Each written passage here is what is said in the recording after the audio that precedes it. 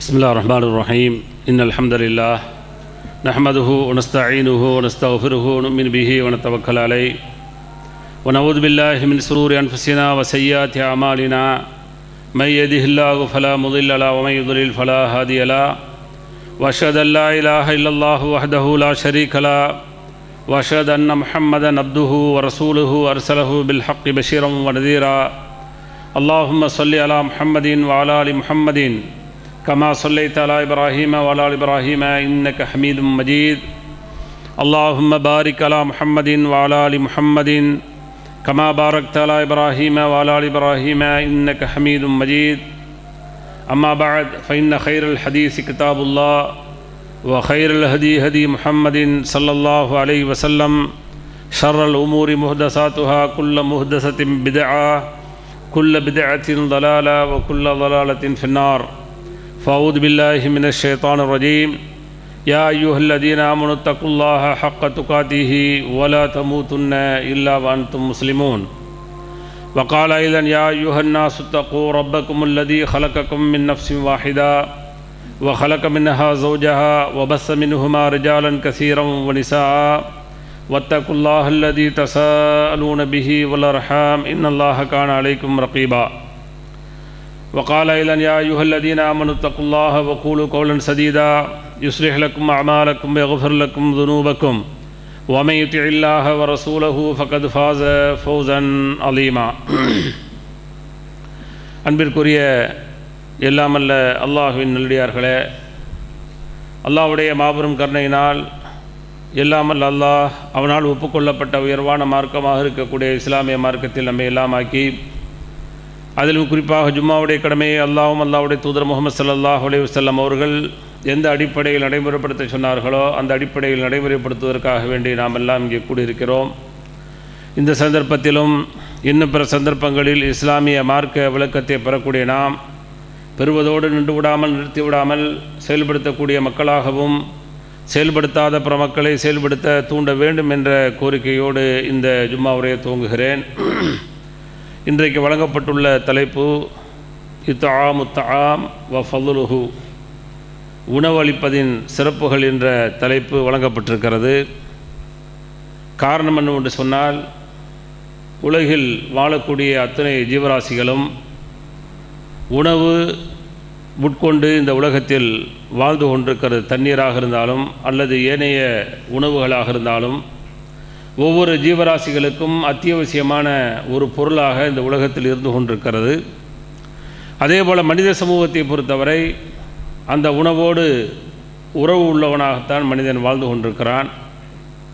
ஒரு நேரம் உணவு உண்ணாவிட்டால் கூட நான் செத்து விடுவேன் என்று சொல்லக்கூடிய அளவிற்கு உண்டான ஒரு பாரதூரமான வார்த்தைகளை சொல்லக்கூடிய அளவிற்குத்தான் இந்த உணவுனுடைய நெருக்கம் இந்த மனித சமூகத்திற்கு இருந்து கொண்டிருக்கிறது. அப்போ இந்த உணவை பொறுத்தவரை மூன்று வகையாக இஸ்லாமிய பார்வையில் வந்து நம்மால் பார்க்க முடிகிறது. ஒன்று கண்டிப்பாக உணவு கொடுத்தே ஆக வேண்டும். நாம் யாருக்கென்று சொன்னால் நான் தாய் தந்தையருக்கு உணவு கொடுத்தாக வேண்டும். அதே போல் என்னுடைய மனைவி மக்களுக்கு நான் உணவு கொடுத்தே ஆக வேண்டும். இல்லை என்று சொன்னால் மறுமையிலே எனக்கு விசாரணை இருக்கிறது. உன்னுடைய மனைவிக்கு உன்னுடைய குழந்தைக்கு நீ ஏன் உணவு கொடுக்கவில்லை என்று சொல்லி இது நம் மீது கடமையாகவே அல்லாஹ் வந்து அல்லாவுடைய தூதர் மூலமாக ஆக்குகிறான். அதே போல் தாய் தந்தையர்கள் முதுமையாக அடைந்த பொழுது அவர்களுடைய அந்த உணவு தேவைகளையும் பூர்த்தி செய்ய வேண்டும் என்ற கடமையும் அல்லாவாலும் அல்லாவுடைய தூதராலும் சொல்லப்படுகிறது. இது முதன்மையான ஒரு கடமை முக்கியமான ஒரு கடமையும் கூட. அடுத்து இரண்டாவது விருந்தோம்பல். விருந்தினர்களை உபசரித்து வரக்கூடிய விருந்தினர்களுக்கு உணவளிப்பக்கூடிய அந்த பழக்க வழக்கங்கள். இது தொன்று தொட்டு காலங்காலமாக இருந்து வளரக்கூடிய ஒரு பழக்க வழக்கம். இப்ராஹிம் அலி இஸ்லாம் அவருடைய காலத்திலிருந்து அதே போல் லூத் அலி இஸ்லாம் அவருடைய அந்த காலம் அதே போல் நபிகள் நாயகம் செல்லல்லாஹு அலி அவர்கள் நபியாக அனுப்பப்படுவதற்கு முன்னால் கூட இந்த விருந்தோம்பல் என்று சொல்லக்கூடிய விருந்தினர்களை உபசரித்து உணவளிக்கக்கூடிய அந்த பாரம்பரிய பழக்கம் என்பது இருந்து கொண்டிருக்கிறது. என் வீடு தேடி ஒரு விருந்தினர் வந்துவிட்டால் அவரை நான் உபசரிக்க வேண்டும். அல்லது என்னுடைய வீட்டிற்கு அழைத்து நான் உபசரிக்க வேண்டும் என்ற இந்த பண்புகள் எல்லாம் வந்து சொல்லப்பட்டிருக்கிறது. இதை நபிகள் நாயகம் ஸல்லல்லாஹு அலைஹி வஸல்லம் அவர்கள் ஒரு முஸ்லீமின் ஒரு முஸ்லீமுக்கு செய்ய வேண்டிய கடமையாக சொல்கின்ற பொழுது இஜாபத்து தாய் உங்களுக்கு விருந்துக்கு அழைக்கப்பட்டால் பதில் சொல்ல வேண்டும் என்றெல்லாம் கடமையாக ஆக்கப்பட்ட ஒன்றாக இருக்கிறது. இப்போ இதுவும் ஒரு உணவளித்தல் தான். இதையெல்லாம் விட கூடுதலாக உணவளித்தல் என்பது மிஸ்கீன் என்று சொல்லக்கூடிய ஏழைகளுக்கு வறுமையில் உள்ளவர்களுக்கு பட்டினியாக இருப்பவர்களுக்கு பசியாக இருப்பவர்களுக்கு உணவளிக்கக்கூடிய அந்த ஒரு வாய்ப்பை ஒரு பாக்கியத்தை நிறைய இடங்களிலே அல்லாவும் அல்லாவுடைய தூதரும் பேசுகிறார்கள். அப்போ மேலே சொன்ன இரண்டையும் விரும்பியோ விரும்பாமல் நடந்து கொண்டிருக்கிறது. தான் பெற்றெடுத்து விட்டோம் அல்லது தான் கட்டிக்கொண்டோம் அல்லது என்னை பெற்றெடுத்து விட்டார்கள் என்றெல்லாம் சொல்லிக்கொண்டு இன்றைக்கு எத்தனை பேர்கள் உணவளித்து கொண்டிருக்கிறார்கள்? விருந்தும் அப்படித்தான். பண்டைய காலம் போல விருந்து உபசாரம் என்பது கூட ஒரு ஃபார்மாலிட்டியாக இன்றைக்கு இருந்து கொண்டிருக்கிறது. அது ஒரு உயிரோட்டம் உள்ளதாக நம்மால் பெரும்பாலும் பார்க்கவும் இல்லை. சின்ன சின்ன விஷயங்கள் சிலர்களிடத்திலே அது போன்ற குணாதிசயங்களை பார்க்க முடிகிறது. ஆனால் பெரும்பாலும் அந்த விருந்தோம்பல் என்பது ஒரு வித்தியாசமான கோணங்களில் தான் நம்மால் பார்க்க முடிகிறது. ஆனால் இஸ்லாம் அந்த விருந்தோம்பலை மிக அதிகமாக வலியுறுத்தி அது சம்பந்தமாக இங்கே பேசக்கூடப்பட்டிருக்கிறது ஒரு ஜும்மாவிலே. எனவே அந்த விருந்தோம்பலும் அல்லாவிற்கு பிடித்தமான முறையில் அமைத்து நாம் அந்த உணவை கொடுக்கின்ற பொழுது அதுவும் நன்மையாக மாறுகிறது. அடுத்து ஏழைகளுக்காக வேண்டி கொடுக்கக்கூடியது இதைத்தான் இஸ்லாம் மிக அதிகமாக வலியுறுத்துகிறது.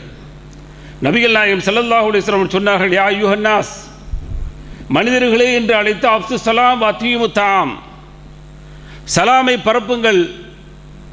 ஏழைகளுக்கு உணவு கொடுங்கள். வசிலுல் அரஹாம். உறவுகளை சேர்த்து வாழுங்கள். வசல்லு பில்லைலி வன்னாசு பின்யாம் மனிதர்கள் எல்லாம் இரவிலே தூங்கிக் கொண்டிருக்கின்ற பொழுது நீங்கள் நின்று இரவிலே துழுகுங்கள். ததுகுலூனல் ஜன்னாபி சலாம். நீங்கள் மிக சுதந்திரமாக ஆரோக்கியமான முறையில் சுருக்கத்தில் நுழைவீர்கள் என்று அல்லாவுடைய தூதர் சொன்னார்கள். எனவே ஏழைகளுக்கு உணவு கொடுப்பது நம்மை சொர்க்கத்துக்கு இழுத்துச் செல்லக்கூடிய ஒரு பண்பாக அல்லாவுடைய தூதர் நபிகள் நாயகம் ஸல்லல்லாஹு அலைஹி அவர்கள் சொன்னார்கள்.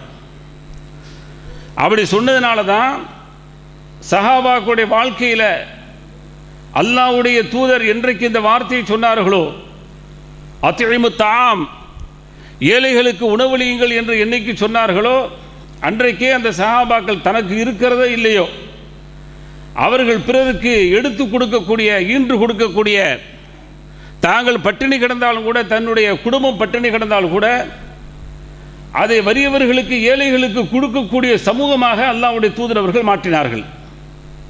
இன்றைக்கு நம்முடைய நாடுகளில் எத்தனையோ வறியவர்கள் ஏழைகள் வந்து உணவு கேட்கின்ற பொழுது கொடுக்கக்கூடிய அந்த உணவுகள் எப்படி இருக்கிறது என்று சொன்னால் அல்ல அழகான ஒரு இலக்கியம் சொல்கிறான். நீங்கள் கொடுக்கின்ற பொழுது நல்லவற்றை கொடுக்க வேண்டும்.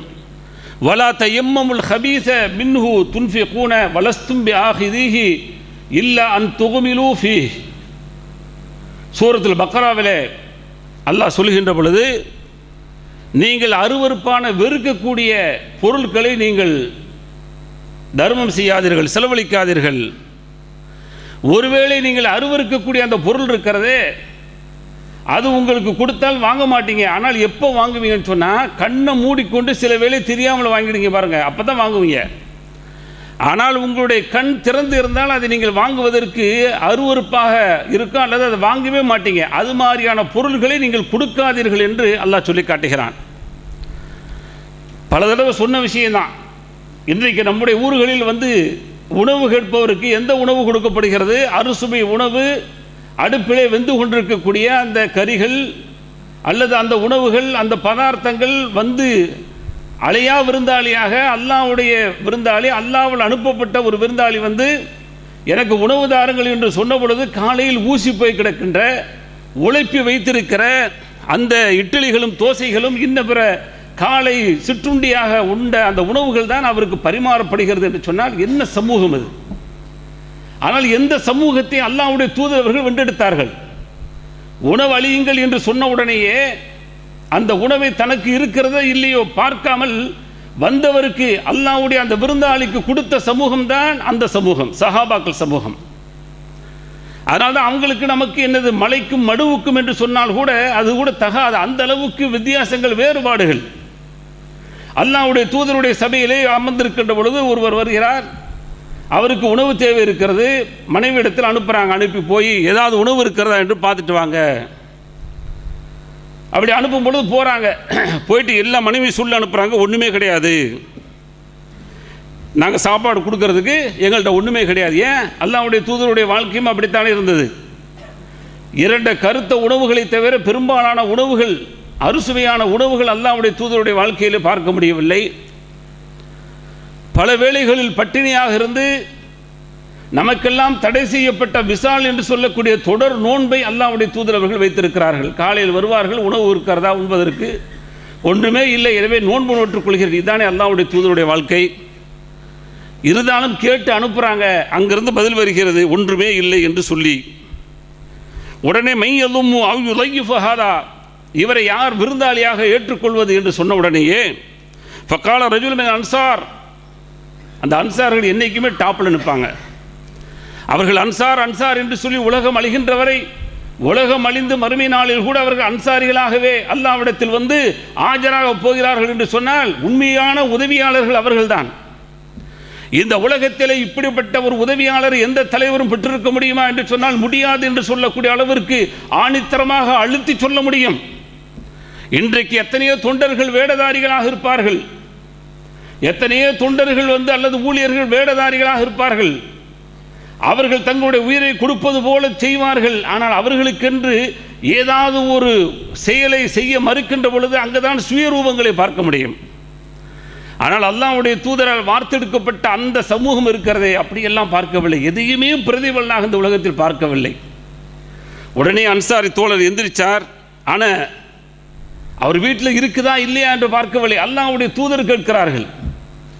இவரை யார் விருந்தாளியாக எடுத்துச் செல்வது?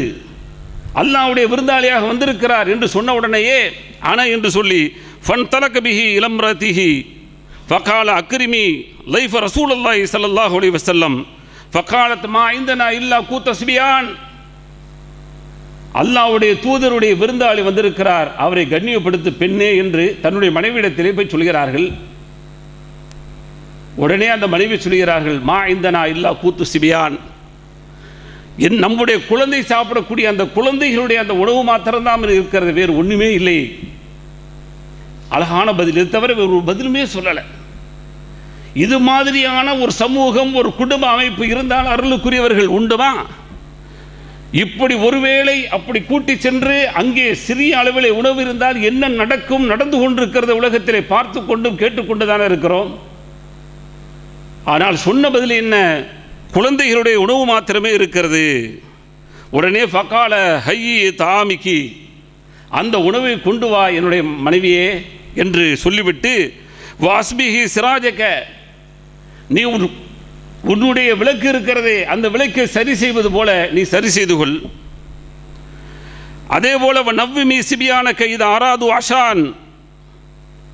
குழந்தைகள் அந்த இரவுடைய உணவு தேவையை கேட்டால் அவர்களை எப்படியாவது ஆசுவாசப்படுத்தி உறங்க வைத்து விடு நாடகமா? நாடகத்தில் வேண்டால் காட்சிகள் நிழலாக காட்டலாம் சகோதரர்களே. எத்தனை நிழல் காட்சிகளை கேள்விப்பட்டு கொண்டிருக்கிறோம் பார்த்து கொண்டிருக்கிறோம். இது நிழல் காட்சி அல்ல நிஜ காட்சி. நிஜமான நடந்த வரலாறு தன்னுடைய குழந்தைக்கு உண்டான உணவை ஒரு விருந்தினருக்கு கொடுப்பது என்பது எந்த அளவிற்கு உச்சகட்டம்? யோசிக்க வேண்டாமா? உணவளிப்பதனுடைய சிறப்பை புரிந்த காரணத்தினால் என்னுடைய குழந்தைக்கு இல்லாவிட்டாலும் பரவாயில்லை. வந்த விருந்தினருக்கு கொடுக்க வேண்டும் என்ற அந்த பண்பு இருந்ததே.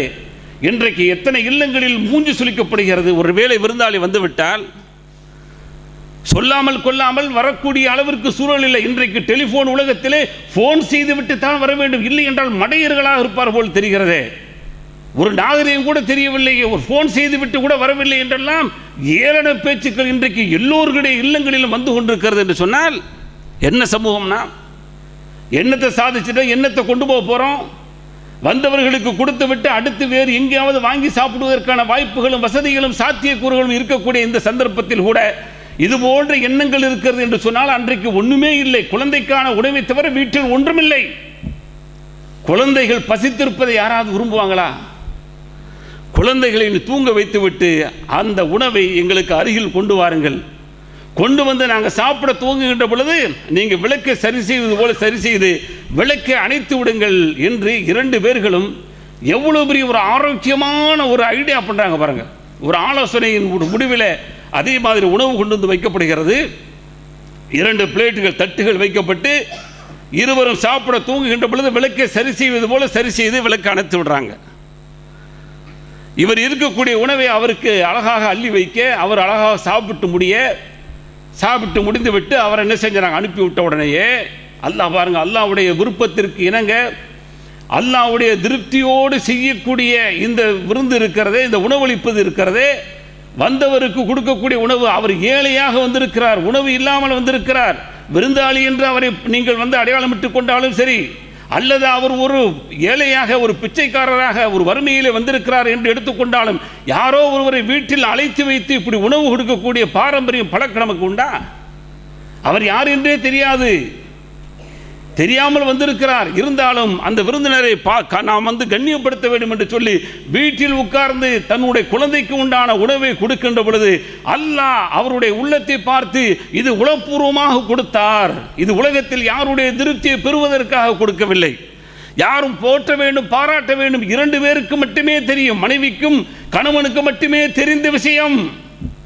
ஆனால் காலையில் என்ன நடந்தது? அல்லாஹுடைய தூதர் நபிகள் நாயகம் ஸல்லல்லாஹு அலைஹி வசல்லம் ஃபலம்மா அஸ்பஹ கதன் இலா ரசூலில்லாஹி சல்லல்லாஹ் அலைஹி வசல்லம் ஃபகால் லஹிகல்லாஹு லஹிகல்லாஹு லைலா அவ் அஜிப மின் ஃபஆலிக்குமா இந்த இரண்டு பேர்களும் செய்து கொண்டார்களே இந்த செயலின் காரணத்தினாலே.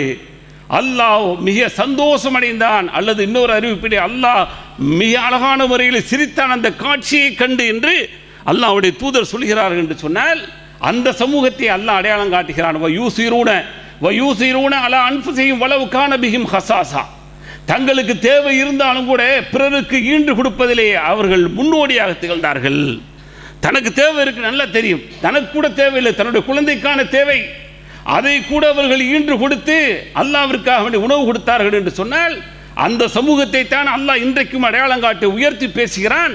தங்களுக்கு தேவை இருந்தும் கூட அந்த தேவையை பொருட்படுத்தாமல் அவர்கள் பிறருக்காக வேண்டி கொடுக்கக்கூடிய சமூகம் என்று அல்லாஹ் அடையாளம் காட்டுகிறான். அதனால் நல்லோர்கள் எப்படி இருக்க வேண்டும்? நல்லோர்களுடைய குணாதிசயங்கள் எப்படி இருக்க வேண்டும்? நல்லவர்களுடைய பண்புகள் எப்படி இருக்க வேண்டும்? சூரத்து தஹ்ரில் எல்லாம் சொல்கின்ற பொழுது வயுத்தீமூன தாம அலா ஹுப்பிஹி மிஸ்கீனன் வ எத்தீமன் வ அசீரா அல்லாஹ்வுடைய நேசத்தின் காரணத்தினால் அல்லாவின் மீது வைத்திருக்கிற ஹுப்பு இருக்கிறது அன்பு அதன் காரணத்தினால். அவர்கள் உணவு கொடுப்பார்கள். யாருக்கு உணவு கொடுப்பார்கள்? தெரிந்தவர்களுக்கா? அறிந்தவர்களுக்கா? வசதி உள்ளவர்களுக்கா? யாரை எல்லாம் அடையாளம் காட்டுகிறார் மிஸ்கீன். ஏழைகளுக்கு உணவு கொடுப்பார்கள் எத்தீம். அனாதைகளுக்கு உணவு கொடுப்பார்கள் வாசீர். சிறைவாசிகளுக்கு உணவு கொடுப்பார்கள். சிறைவாசிகளுக்கு கொடுக்கக்கூடிய சமூகம் இல்லை பயப்படுறான். கொடுத்தா என்னமா ஆகிடும் நம்மளும் சேர்ந்து பிடிச்சிட்டு போயிடுவோன்னு சொல்லி ஆனால் அல்லாஹ் சொல்றான் வைத்தீமூன தாம அலா ஹுப்பிஹி. அல்லாஹ்வுடைய நேசத்தின் காரணத்தினால் உணவு கொடுப்பார்கள். வேறு ஒரு நேசம் இங்கே உலகத்தில் ஒன்றுமே கிடையாது. நான் ஒரு ஏழைக்கு உணவு கொடுக்கிறேனா? இந்த உலகத்தில் எனக்கு எந்த பிரதிபலனும் தேவையில்லை. அல்லாஹ்வுடைய அன்பு மட்டுமே. நான் ஒரு அனாதைக்கு ஆதரவு கொடுக்கிறேனா உணவு கொடுக்கிறேனா? அல்லாஹ்வுடைய அன்புக்கு மாத்திரமே. ஒரு சிறைவாசிக்கு நான் கொடுக்கிறேன் என்று சொன்னால் அதுவும் அல்லாஹ்வுக்காக வேண்டி என்று சொல்லி அவர்கள் கொடுப்பார்கள் என்று சொல்லிவிட்டு அந்த நல்லோர்கள் என்ன சொல்லுவார்கள் தெரியுமா? இன்னமானு நுத்திழைமுக்கும் இன்னமானு நுத்திழைமுக்கும் லி வஜில்லா இந்த உணவை நாங்கள் உங்களுக்கு கொடுத்தது வேறு ஒரு காரணம் அல்ல வஜிஹில்லா அல்லாஹ்வுடைய திருப்திக்காக வேண்டி மாத்திரமே கொடுத்தோம். நான் நுரீது மின்கும் ஜஸாஅன் வலா ஷுக்கூரா இந்த உலகத்திலே ஜஸா கூலியோ ஷுக்கூர் நன்றி பாராட்டுதலையே விரும்பவில்லை என்று அவர்கள் சொல்லுவார்கள் என்று அல்லாஹ் சொல்லி காட்டுகிறான். உணவு எதுக்காக கொடுத்தாங்க? அல்லாஹ்வுடைய திருப்தி அல்லாஹ்வுடைய பொருத்தம் அல்லாவுடைய விருப்பம் இதை தவிர ஒன்றுமே இல்லை என்று சொல்லி அவர்கள் நல்லோர்கள் சொல்லுவார்கள் மறுமையிலே என்றெல்லாம் அல்லாஹ் அடையாளப்படுத்தி காட்டுகிறான் என்று சொன்னால் இந்த உணவளிப்பது அல்லாஹ்வுக்காக வேண்டி பிறருக்காக வேண்டி அல்ல.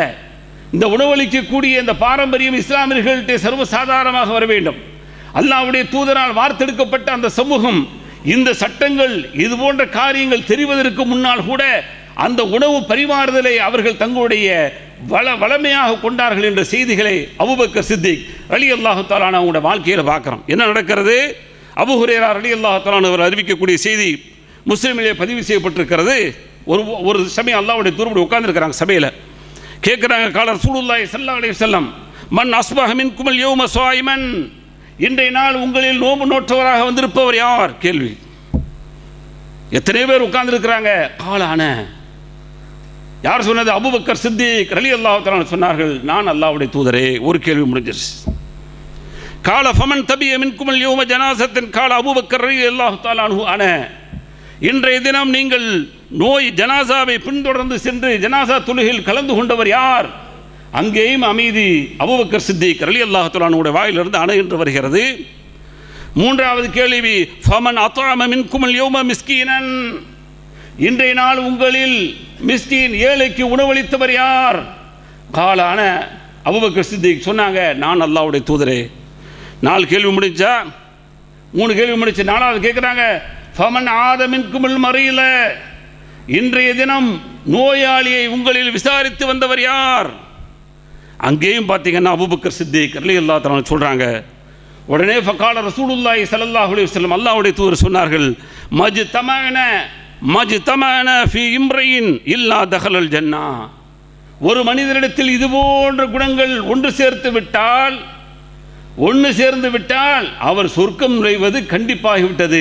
அவருக்கு சொர்க்கத்தை தவிர வேறு ஒன்றுமே கூலி கிடையாது என்று நபிகள் நாயகம் சல்லல்லாஹு அலி வஸ்லாம் அவர்கள் இந்த செய்தி சொல்கிறாங்க சொர்க்கம் என்ற செய்தி இப்படி ஒவ்வொரு செயலையும் ஒரே நாளில் செய்யக்கூடிய பண்புகள் இருக்க வேண்டும் என்பதை சொர்க்கம் போகுவதற்கான நன்மையாக இருக்குமா இல்லையா என்றெல்லாம் சட்டம் தெரிவதற்கு முன்னாடியே அபுபக்கர் சித்திக் அலி அல்லா செஞ்சாங்க. அதான் அறிஞர் பெருமக்கள் கோடிட்டு காட்டுறாங்க. இதில் ஹைலைட் என்ன? இப்போதான் ரிசல்ட்டு ரிசல்ட் வர்றதுக்கு முன்னாடியே அவங்கள்ட்ட அந்த பழக்கம் இருந்துச்சு. ஆனால் நம்மகிட்ட ரிசல்ட் எல்லாமே தெரியுது. ஆனால் பழக்கங்கள் இல்லை. அவங்கள்ட்ட பழக்கங்கள் வந்தது பல பழக்கங்கள் ரிசல்ட் பின்னாடி கிடைச்சது. நான்கு பண்புகளையும் கேட்கின்ற பொழுது ஏதோ மெடல் கொடுக்க போகிறார்கள் என்றா? ஏதோ பட்டயங்கள் கொடுக்க போகிறார்கள் என்றா? அல்லது ஏதோ பதக்கங்கள் கிடைக்க போகிறது என்றா? அல்லது ஏதாவது அன்பளிப்புகள் கிடைக்கப் போகுது என்றா? என்ன நடக்கிறது? எதை செய்தாலும் ஹைலைட் பயங்கரமாக பண்ணி பண்ணி பண்ணி எல்லாத்தையும் இழக்கக்கூடிய அளவுக்கு இருக்கிறதே. ஆனால் அங்கே பாருங்கள் சத்தமின்றி எந்த விதமான ஆரவரமின்றி அமைதியான முறையில் அத்துணை செயலையும் செய்துவிட்டு அமைதியாக அங்கே அமர்ந்திருக்கின்ற பொழுது அல்லாவுடைய தூதர் கேட்ட கேள்விக்கு பதில் சொல்லாமல் இருந்தால் அங்கே அவமரியாதை ஆகிவிடும் பொய்யாக ஆகிவிடும். எனவே அல்லாவுடைய தூதருக்கு பதில் சொல்ல வேண்டும் கேட்கிறார்களே. எனவே செய்தவர் நான் தானே சொல்லித்தான் ஆக வேண்டும் சொன்னார்கள். இப்படியெல்லாம் நீங்கள் செய்தால் உங்களுக்கு சொர்க்கம் இருக்கிறது என்ற ரிசல்ட்டை அல்லாவுடைய தூதர் அப்போதுதான் சொன்னாங்கன்னு சொன்ன அந்த சமூகம் எங்கே நின்றது? ரிசல்ட் என்னான்னு தெரியாமலே செய்த கூட்டங்கள் தான் அந்த கூட்டங்கள். அப்போ ரிசல்ட்லாம் பின்னாடி ஒவ்வொன்றாக சொல்லப்படுது. அல்லாவுடைய தூரி எச்சரிக்கை செய்கிறாங்க நீங்கள் இது மாதிரி உணவு கேட்டு வர்றாங்க உணவு கொடுக்கல அப்படின்னு சொன்னால் நாளைக்கு மறுமையில் என்ன பிரச்சனை? உணவு கொடுத்தாலும் உங்களுக்கு என்ன பிரச்சனை? என்றெல்லாம் அல்லாவுடைய தூதர் அடுத்தடுத்து சட்டங்களாக சொல்கின்ற பொழுது இன்னும் கூடுதலாக மெருகேற்றி தங்களுடைய வாழ்க்கையிலே உணவு கொடுக்கக்கூடியவர்களாக அவர்கள் மாறினார்கள். நபிகள் நாயகம் சல்லல்லாஹ் அலி வசல்லம் அவர்களுடைய அந்த சமூகத்தில் இதுவாறு ஏழைகளுக்கு உணவு கொடுக்கக்கூடிய அந்த தன்மைகளை அவர்கள் அதிகமாக வளர்த்து கொண்ட காரணத்தினால்தான் அல்லாவுடைய தூதர் நபிகள் நாயம் ஸல்லல்லாஹு அவர்கள் ஒருவேளை ஏழைகளை கவனிக்காமல் நீங்கள் விட்டுவிட்டால் உங்களுக்கான எச்சரிக்கை என்ன என்று சொல்கின்ற பொழுது அல்லாவுடைய தூதர் அவர்கள் சொன்னார்கள் ஷர்ரு தாம். தாமிலே உணவிலே மிக கிட்ட உணவை பற்றி அல்லாவுடைய தூதர் சொன்னார்கள். அபுஹுரே அடி ரலியல்லாஹு அறிவிக்கிறார்கள் சர்ரு தாமி தாமுல் வலிமா யுத்தவுன லகுல் அக்னியாவு வயுத்துரக்குள் மசாக்கின் முஸ்லீம் வரக்கூடிய செய்தி வலிமா விருந்து தான் மோசமான விருந்து என்று சொன்னார்கள். எந்த வலிமா விருந்து? பணக்காரர்கள் அழைக்கப்பட்டு ஏழைகள் விடப்படக்கூடிய விருந்து மோசமான விருந்து. அதில் போய் சாப்பிட்டோம் சொன்னால் நாத்தத்தை சாப்பிட்டு வரேன்னு அர்த்தம். எத்தனை ஏழைகள் நாம் போடக்கூடிய எச்சில் இலைகளை சாப்பிட்டு கொண்டிருக்கிறார்கள். ரோசம் வேண்டாமா? எந்த மதத்தவராக இருந்து போகட்டும்? அவர்களை அழைத்து முன்னாடியில் கொடுக்கணும். கொடுக்க விடுவீங்களா நீங்க? உங்களுடைய அந்த வெள்ளையும் சொல்லையும் உங்களுடைய வசதியும் அந்த வாய்ப்பும் அது போன்ற ஏழைகளை உங்களுடைய சபையில் அழைத்து உங்களுக்கு முன்னாடி முதல் செஃபிலே வைத்து அவர்களை சாப்பிட விட்டு நீங்கள் அவரை அப்படியே அனுப்புறீங்கன்னு சொன்னால் இருக்கிறவையெல்லாம் ஓடிடுவான் கௌரவ பிரச்சனைகளை அதுதான் உண்மையான விருந்து. நடக்கிறதா எங்கேயாவது? நடந்தால் அருளுக்குரியவர்கள். அதுக்காக சவால்னு சொல்லிட்டு வந்துடாதீங்க நடந்தால் அருள் முடிஞ்சு போச்சு. ஆனால் நடக்கிறத பார்க்க முடியல. இவன் புளிச்சே இப்போ காலையில் மூணு இட்லி அல்லது மூணு புரோட்டாவை போட்டு அமுக்கிட்டு இன்னும் சில ஊரில் காலையில் நாஸ்டாவை தின்னு போட்டு அமைக்கி விட்டு தின்னுட்டு கடைசியில் பன்னெண்டு பன்னெண்டு மணிக்கு வந்து நிற்கா முடிஞ்ச உடனே ஓடி போய் முதல் சப்பில் உட்காந்து வைக்கிற கறியை சாப்பிட்டு சாப்பிட முடியாம ஒரு பக்கம் முட்டிக்கிட்டு நிற்குது அப்படியே அரையும் குறையாமல் சாப்பிட்டு இலையில மடிச்சு விட்டு வந்துடுவார் அந்த இலையில் கொண்டு போய் போடும் பொழுது நாய்களும் பன்றிகளும் சாப்பிடக்கூடிய அந்த இறைச்சிகளையும் சாப்பாடுகளையும் ஏழைகள் எடுத்து சாப்பிடுகிறார்களே. அந்த வலிமா விருந்து மோசமான விருந்து. கெட்ட விருந்து நாய் சாப்பிடுவது விருந்து நாய் சாப்பிடக்கூடிய சாப்பாடு கூட நல்ல சாப்பாடு. இன்னைக்கு நாய்களுக்கு குவைத்தில் பார்க்குற பெரிய பெரிய பயங்கரமாக நாய் நாயை பார்த்தா பயமாக இருக்குது நம்மளை விட நல்ல உணவுகள் அந்த நாய்க்கு கிடைத்து கொண்டிருக்கிறது. அந்த உணவு தான் அந்த வலிமா விருந்து என்று அல்லாவுடைய தூதர் சொன்னார்கள் என்று சொன்னால் உணவு கொடுப்பது யாருக்கு கொடுக்க வேண்டும்? எந்த உணவாக இருந்தாலும் சரி ஏழைகளுக்கான உணவாக இருக்க வேண்டும். வறியவர்களுக்கான உணவாக இருக்க வேண்டும். இல்லை என்று சொன்னால் மறுமையில் அவர்கள் எல்லாம் வந்து அல்லாவுடைய மன்றத்திலே நிற்பார்கள். அவர்கள் சார்பாக அல்லாஹ் வந்து நிற்பான். அல்லாவுடைய தூதர் நபிகள் நாயகம் ஸல்லல்லாஹு அலைஹி வஸல்லம் சொன்னார்கள். என்ன சொன்னார்கள்? அல்லாஹ் சொல்வதாக சொல்றாங்க.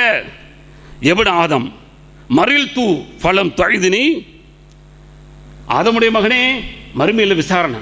அல்லாவுடைய மன்றத்தில் நிற்க வச்சுட்டு ஆதமுடைய மகனே அழைச்சிட்டு நான் நோய்வாய்ப்பட்டிருந்தேனேப்பா. ஏன் நோய் விசாரிக்க வரல? காலை யா கைஃபா ஊதுக்க வான் தரப்பல் ஆலமீன். அங்கே சட்டம் பேசுவான் இங்கே பேசுகிறான் இல்லையா? அதே மாதிரி அங்கேயும் பேசுவான். யாரப் நீ தானே வந்து நோய் தான் கொடுக்குறவன். நீ எப்படி நோயாக இருப்ப? உன்னை எப்படி நோய் விசாரிக்க வர்றதுன்னு சொல்லி லாஜிக்காக பேசுவார். கால உடனே அல்லாஹ் சொல்லுவான் அமா அலிம்த அன்ன அப்தி ஃபுலானன் மறியல ஃபலம் தாவுதுஹு அமா அலிம்த அன்னக்க லவ் உத்தஹு லவ் வஜத்தனி இந்தஹு ஒரு அடியான் நோய்வாய்ப்பட்டு கிடந்தானே சென்று பார்த்தாயா?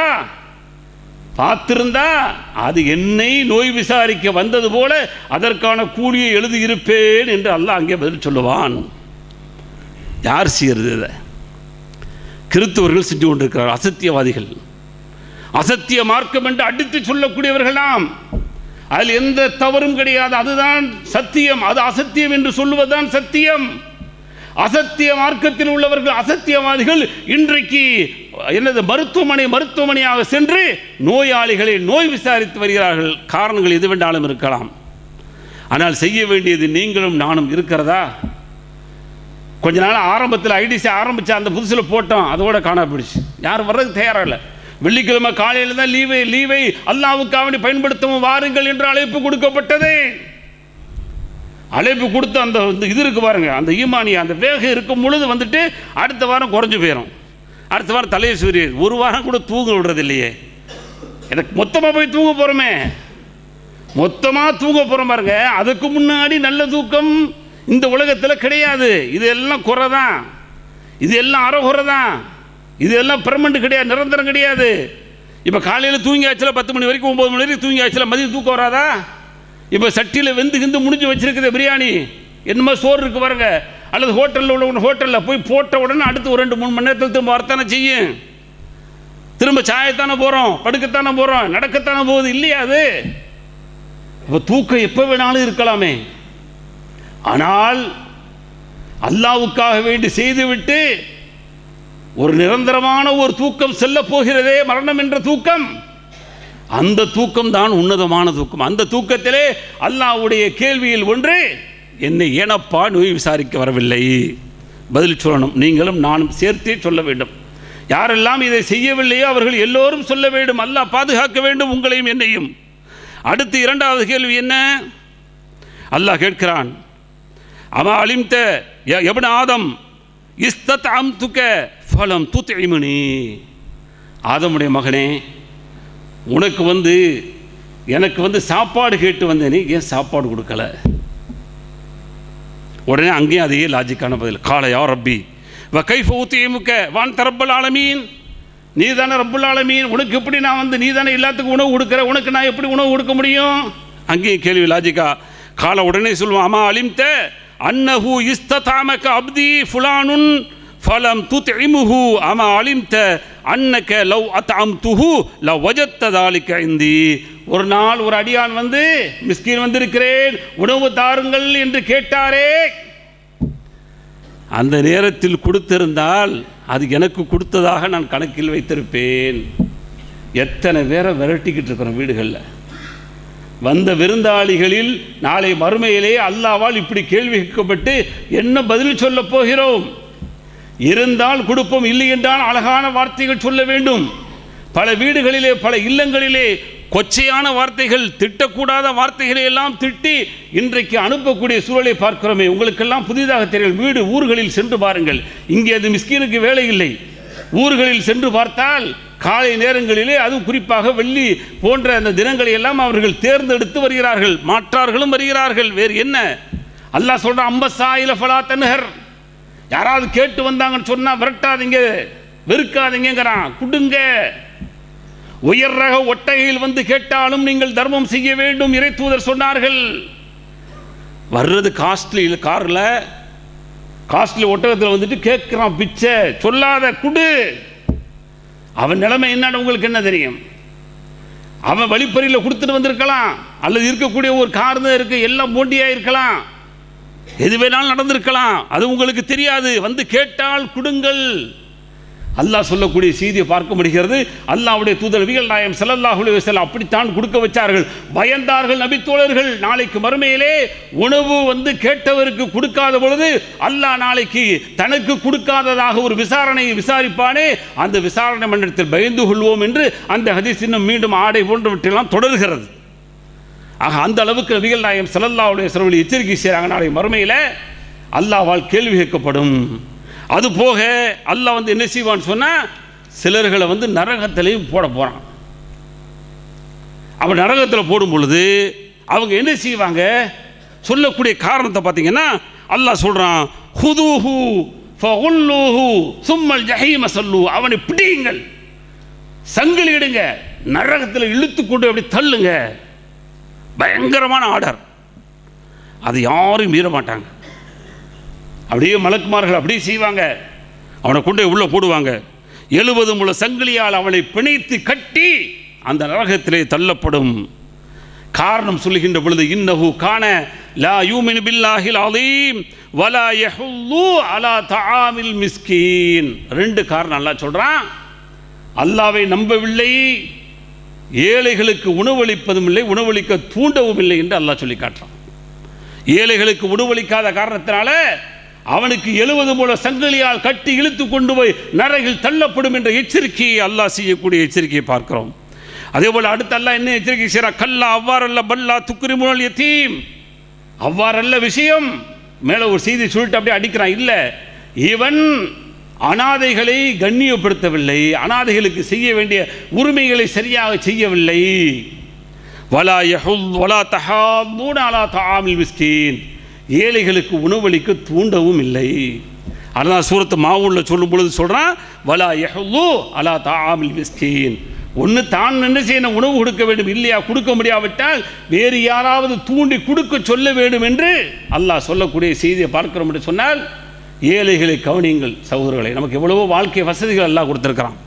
ஒரு கட்டத்தில் கஞ்சி குடித்தவர்கள் ரேஷன் சோறு சாப்பிட்டவர்கள்லாம் உண்டு நம்மளே அதெல்லாம் மறக்க முடியாது மறைக்க முடியாது. எத்தனை கஷ்டங்கள் நஷ்டங்களை எல்லாம் சந்தித்து வந்தவர்கள். இன்றைக்கு அழகான முறையில் நல்ல உணவுகளை நல்ல உடைகளை நல்ல இருப்பிடங்களை அல்லாஹ் நமக்கு தந்திருக்கிறான். வாழ்வாதாரங்களை எவ்வளவோ பெருக்கி தந்திருக்கிறான். அல்லாஹ் கொடுத்த இந்த வாழ்வாதாரங்கள் நமக்கானது மட்டுமல்ல. நமக்கு சொந்தம் மட்டுமல்ல நம்முடைய உறவுகளுக்கும் நம்முடைய குடும்பங்களுக்கு மட்டும் சொந்தமல்ல. அல்லாவால் அனுப்பப்பட்ட அல்லாவால் அனுப்பக்கூடிய அந்த விருந்தினர்கள் ஏழைகள் இருக்கிறார்களே அவர்களுக்கும் ஒரு பங்கு உண்டு அவர்களுக்கும் இதில் சொந்தம் இருக்கிறது என்பதை நீங்கள் புரிந்து கொள்ள வேண்டும். அதனால தான் அல்லாவுடைய தூர் சொன்னாங்க ஒரு நபி தோழரை பார்த்து சொன்னாங்க நீ மறக் குழம்பு வைக்கிறீங்கன்னு சொன்னால் கூட அதிலே கொஞ்சோன்னு தண்ணீர் அதிகமாக விட்டு கொஞ்சம் கூடுதலாக குழம்பு செய்து உன்னுடைய அண்டை விட்டாருக்கு கொடு. அண்டை விட்டார் பசித்திருக்கின்ற பொழுது நீ நல்லா புசிச்சு நல்லா சாப்பிட்டு வயிறு முட்டை இருந்து அவனுடைய வயிற்றெரிச்சலை வாங்கக்கூடாது என்பதற்காக வேண்டி அழகான இலக்கியத்தை நபிகள் நாயகம் இலக்கணத்தை நபிகள் நாயகம் ஸல்லல்லாஹு அலைஹி சொல்லித் என்று சொன்னால் எனவே ஏழைகளை கவனிக்க சொல்லுங்கள். நம்முடைய குடும்பங்களில் நம்முடைய உறவுகளில் நம்முடைய வீடுகளுக்கு ஊர்களில் வரக்கூடிய ஏழைகளை எந்த வகையில் விரட்டாமல் நம்மால் என்ன முடிகிறதோ அதை செய்ய சொல்லுங்கள். அப்பொழுதுதான் நரக வேதனையிலிருந்து நம்மால் பாதுகாத்து கொள்ள முடியும். சொர்க்கத்திலே மிகப்பெரிய அந்தஸ்தை அல்லாவால் கொடுக்கப்பட இருக்கிறது. அதை வந்து பெற முடியும். நபிகள் நாயகம் செல்லல்லா அலைஹி சொல்கின்ற பொழுது சொர்க்கத்தில் என்ன அந்தஸ்தை தர்றாங்க? என்ன அந்தஸ்தை அல்லாஹ் தர்றான் அப்படின்னு சொன்னால் அல்லாவுடைய தூர் சொன்னாங்க இந்த ஜன்னத்தி ல ஓரஃபன் சொர்க்கத்திலேயே ஒரு அறை இருக்கிறது ஒரு ரூம் இருக்கிறது. யுரா லுஹூருஹா மின் புத்தூனிஹா வ புத்தூனுஹா மின் துஹூரிஹா அது வெளியே இருந்து பார்த்தா உள்ளே தெரியும் உள்ளே இருந்து பார்த்தா வெளியே தெரியும். ஏறக்குறைய கண்ணாடி மாளிகை போல ஒரு அழகான ஒரு ரூம் வந்து தயார் செய்யப்பட்டிருக்கிறது. உடனே ஒரு அரபி ஆராபி நாட்டுப்புறத்திலிருந்து அந்த கிராமத்துப்புறத்து அரபி எந்திரிச்சார். ஃபக்காம இலை ஃபக்கால லிமன் ஹே யார் அல்லாவுடைய தூதரவர்களே இப்படி ஒரு சூப்பர் ரூம் சொல்கிறீங்களே இந்த ரூமு யாருக்குள்ளது? உடனே கால சொன்னார்கள் ஹி அலிமன் அத்தாவல் கலாம் வா அத்தாம வதாமசியாம் வசல்லா பில்லையில் வண்ணாசினியாம் திருமதியில் வரக்கூடிய செய்தி நல்ல பேச்சு பேசக்கூடியவர் கெட்ட பேச்சுக்களை தீய பேச்சுக்களை பேசாதவர் வாத்தியாமத்தாம் ஏழைகளுக்கு உணவு கொடுத்தவர் நோன்பு நோற்றவர் அதே போல இரவெல்லாம் தொழுதவர் மக்கள் தூங்கிக் கொண்டிருக்கின்ற பொழுது இவருக்கு அல்லாஹ் இந்த அறையை கொடுக்கிறான் என்று நபிகள் நாயகம் ஸல்லல்லாஹு சொல்கிறாங்க அதே போல் அடுத்து இன்னொரு சந்தர்ப்பத்தில் சொன்னாங்க சஹாபாக்களுக்கெல்லாம் எப்படி புரிய வைக்கிறாங்கன்னு சொன்னால் இந்த உலகத்தில் நாம் செலவழிக்கிறோம் பாருங்க. இந்த செலவழிப்பை பற்றி ஒரு அழகான ஒரு வரைபடமாக அல்லாவுடைய தூதர் சொல்கின்ற பொழுது அல்லாவுடைய தூதருடைய அந்த தோழர்கள் அன்னஹும் தபஹு ஷாத்தன். ஒரு ஆட்டை அறுத்தார்கள் சஹாபாக்கள் ஒரு ஆட்டை அறுத்தார்கள். ஃபகால நபி ஸல்லல்லாஹு அலைஹி வஸல்லம் மா பக்கிய மின்ஹா? நீங்கள் ஆடு அறுத்தீர்களே அதில் என்ன மீதம் இருக்கிறதுன்னு கேட்டாங்க. காலத்து உடனே சொல்லப்பட்டுச்சு சொன்னார்கள் மா பக்கிய மின்ஹா இல்லா கத்திஃபுஹா அதில் வந்து இந்த தோல் புஜம் இருக்கிறதே அது மட்டும்தான் பாக்கி இருக்கிறது என்று சொல்லப்பட்டது. நல்லா கவனிங்க. அல்லாஹ்வுடைய தூதர் ஆடு அறுக்கப்பட்டது. ஆடு அறுத்து எல்லாம் விநியோகம் செய்யப்பட்டு விட்டது. அப்போ கேட்குறாங்க மா பக்கே மின்ஹா. அதிலிருந்து என்ன பாக்கி மிச்சம் இருக்கிறது என்று கேட்ட உடனே உடனே சொன்னார்கள் அதனுடைய தோல் சோல்டர் இருக்கு சோல்ஜர் அது சோல்டர் இருக்கிறதே தோல் புஜம் இது மட்டுமே பாக்கி இருக்கிறது என்று சொன்ன உடனேயே அல்லாவுடைய தூதர் என்ன சொன்னார்கள் தெரியுமா? கால பக்கிய குல்லுஹா ஹைர கத்திஃபிஹா. திருமதி எல்லாம் பாக்கி இருக்கிறது. ஆனால் தோல் புஜம் மட்டும் செலவழிக்கப்பட்டு விட்டது. நிறைய பேத்துக்கு புரிஞ்சிருக்காது. அப்படின்டா அல்லாவுக்காக வேண்டி தோல் பூஜத்தை தவிர ஏனைய பாகங்கள் எல்லாம் செலவழிக்கப்பட்டு அல்லாவுடைய பதிவிலே வந்து நன்மையாக மாறி கிடக்கிறது. இந்த தோல் பூஜம் இருக்கிறது அதை நம்ம சாப்பிட்டு தீக்க போகிறோம் இதுதான் ஒன்றுமில்லை மீதமில்லாதது. எது மீதமில்லை? இங்கே செலவழிச்சதெல்லாம் மீதமில்லை. எது அல்லாவுடைய மன்றத்துக்கு அனுப்பிக்கிட்டு இருக்கிறோமோ அதுதான் உண்மையிலேயே மீதமுள்ளது. அப்போ ஏழைக்கு உணவு கொடுக்குறோம் பாருங்க. அந்த செலவு மீதமுள்ள செலவு. ஏழைகளை அதாவது அனாதைகளை அரவணைக்கிறோமே அவர்களுக்காக செலவழிக்கிறோமே அதுதான் மீதமுள்ள செலவு. அல்லாஹ் விரும்பக்கூடிய வழியில் செலவழிக்கிறோமே அதுதான் அங்கே செலவழித்து அல்லாவிடத்தில் தங்கக்கூடியது என்று அழகான முறையில் அல்லாவுடைய தூதரவர்கள் சொல்லி காட்டினார்கள். இது போக இந்த ஏழைகளை கவனிக்க வேண்டும் என்பதற்காக வேண்டி அல்லாவுடைய தூதரவர்கள் இன்னும் பல செய்திகள் சொல்லியிருந்தாலும் கஃபாரா என்று சொல்லக்கூடிய கஃபாரா என்று சொல்லக்கூடிய பரிகாரம் செய்கிறோம் பார்த்தீங்களா சில சில விஷயத்திற்கான பரிகாரங்களாக இஸ்லாம் சொல்லுது. அப்பொழுது கூட அந்த பரிகாரத்தில் ஒரு படித்தரமாக ஏழைகளுக்கு உணவளிக்க வேண்டும் என்ற செய்தியை இஸ்லாம் சொல்லி ஏழைகளை கண்ணியப்படுத்துவதிலே இஸ்லாம் உயர்ந்து நிற்கிறது. எனவே ஏழைகளை எந்த வகையிலும் கைவிட்டு விடக்கூடாது. ஏழைகளை அலட்சியத்தோடு பார்க்கக்கூடாது. ஏழைகளை ஏளனத்தோடு பார்க்கக்கூடாது.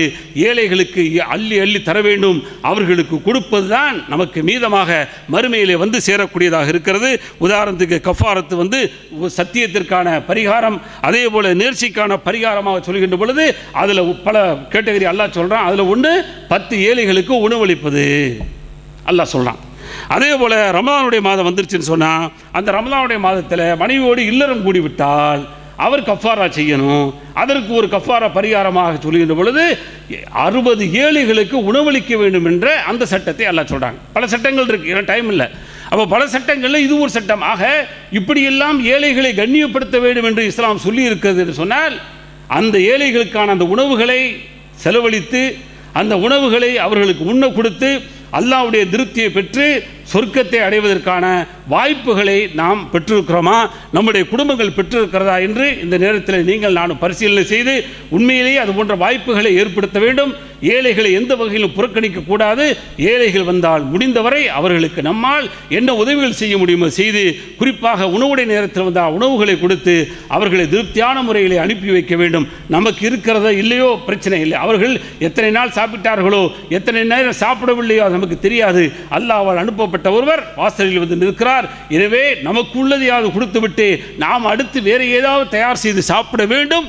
அப்படியாப்பட்ட ஒரு கட்டம் ஒரு சோதனையை நாம் ஒரு நாள் அடைகின்ற பொழுது நிச்சயமாக நம்முடைய அந்த பணிகள் ஏற்றுக்கொள்ளப்படுகிறது என்பதற்கான இலக்கணமாக வரலாறுகள் நமக்கு சொல்லித் தருகிறது. எனவே அது போன்ற பாடத்தோடு படித்து உணவுகளை அழகான முறையில் ஏழைகளுக்கு கொடுப்போம் ஏழைகளை ஆதரிப்போம் என்ற ஒரு உணர்வோடு இந்த முறையை நிறைவு செய்கிறேன். வாகர் தாவான் அஹமதுல்லாஹி ரபில் ஆலமின்.